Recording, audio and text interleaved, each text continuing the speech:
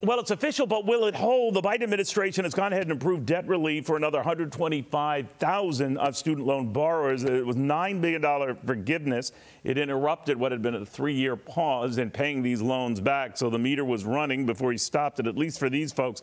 But the governor of Georgia has a different way to incentivize those who want to go to good schools and the rest uh, without the federal government doling out money to forgive student loans. Governor Brian Kemp of Georgia, kind enough to join us to explain Georgia Match, which I guess lines up kids in the state but with, with some good schools. Explain how it works, Governor, and good to have you.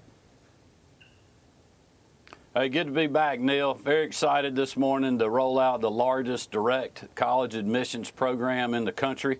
Next week, 120,000 high school seniors, public and private school, will receive a letter saying you have been accepted to either our technical college institutions here in Georgia or our university system schools, depending on their GPA match. So students are not going to have to go through that process. They'll know they'll get accepted. They still obviously have to enroll, but it's a way for us to reach every single child in our state uh, and also make sure the households know about the opportunities that we have here in Georgia for higher education. All right, now, does it matter what their major is? Could you break it down?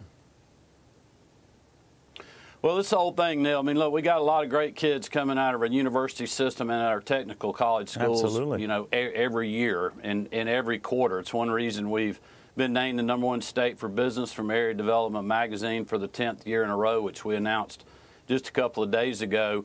And people are coming here because of our workforce. But we got so many good projects coming and having jobs of the future that we got to fill those jobs in two or three years. And so we need these kids to do that. We got to reach out and get a hold of those kids that may not be getting that job training that can get them into one of these good paying jobs with great benefits to help the companies that we have here in Georgia and those that are coming. So this program is designed to do that. It's a amazing amount of work by a lot of different people that normally don't get out of their silo when you think about our yeah. university system, our technical college system, Georgia Student Finance. We have the Hope Scholarship and the Hope Grant where basically people can go to school in Georgia tuition free. And we just got to make sure these kids and their caregivers or parents know about the options that they have to fill the workforce needs of the future. What's smart about this, Governor, is it doesn't rely on addressing the bills after the fact or forgiving or paying off student loans after the fact. Um, what do you think of the president's latest measure? Of course, a lot are,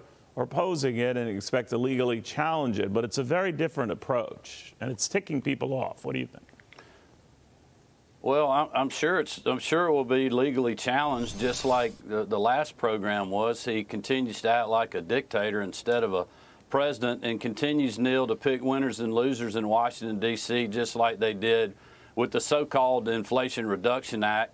You know, helping the big three that are now on strike, but penalizing companies like Hyundai and Rivian that are coming to the great state of Georgia and Kia that's expanding here. So, you know, I think the, the working people out there are furious about that.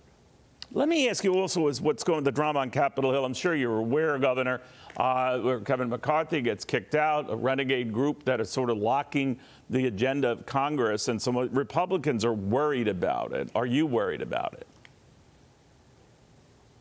Well, it's a distraction, Neil. That's one thing I've warned people about, especially Republicans, that we can't get distracted. We need to stay focused on what the American people want. I've been staying focused on what's helping Georgians get through 40 year high Biden inflation. You know, Bidenomics is costing people more at the grocery store, and more at the gas pump. And so we're doing kitchen table things here like suspending the gas tax to save people 31 cents a gallon or 35 cents a gallon on diesel. You know, we just did property tax relief when people are getting their tax bills right now. The average Georgian that owns a home is getting a $500 break on their property taxes to help them when they go to the grocery store and other things, high interest rates because of bad policies of this administration. And really, what's happening in D.C. now, instead of Republicans talking about having a bill that secures the border and reduces uh, ridiculous government spending in Washington, D.C., they're having a speaker fight.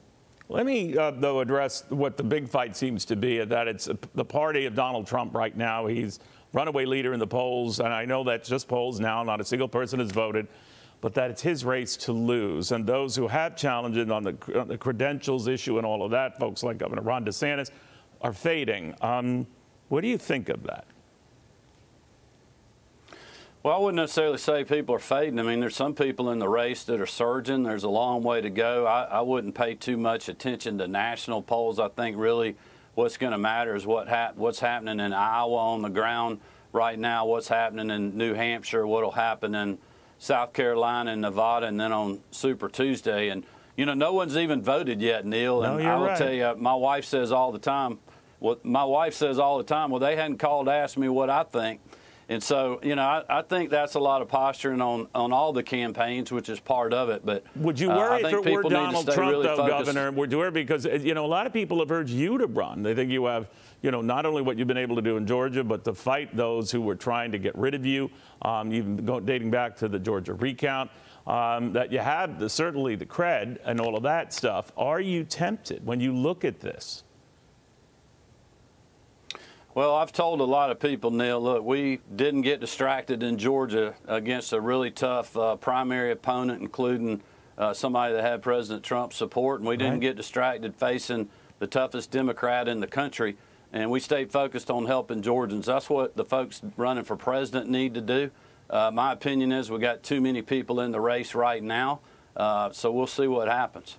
So you don't want to add to that too many people for the time being.